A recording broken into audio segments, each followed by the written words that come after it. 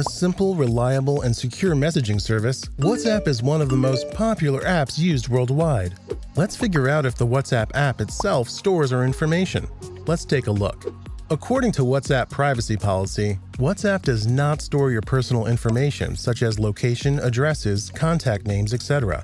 It stores only the user's name and number for easy accessibility. Other information is only stored locally and not synced with its server. Second, WhatsApp may store the messages temporarily. It keeps the messages until it gets delivered to the recipient. As soon as the messages get delivered, they will be deleted from their server. WhatsApp does not store my information. So if I accidentally lose my important files and chat messages, what is the best way to effectively back up and restore my WhatsApp messages? Let's have a look. On the iPhone, a user can use iCloud to back up the WhatsApp messages. Open Settings on your iPhone and tap on your Apple ID. Tap iCloud and scroll to the bottom of the screen. Turn on the slider next to WhatsApp to green position for turning on iCloud access.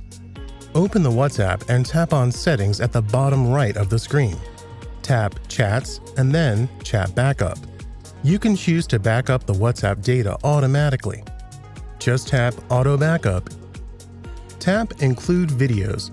You can choose whether you want to include videos or not. Besides, tap Backup Now for uploading the data to your Apple iCloud.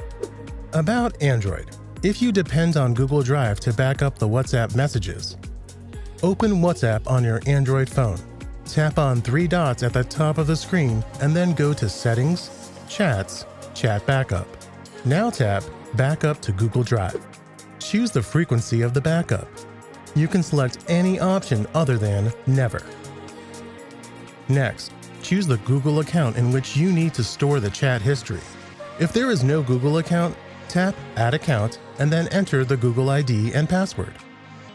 Tap Backup Over for choosing the type of network you want to use to back up, Wi-Fi or cellular data.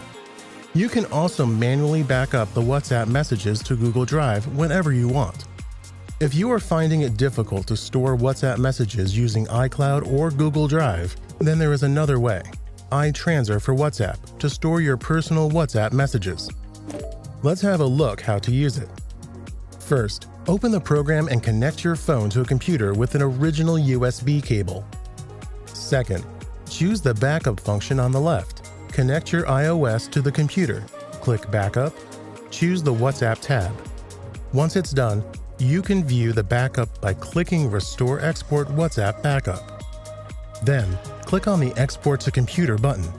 After the scan, you will see the chat history as real chat on your phone.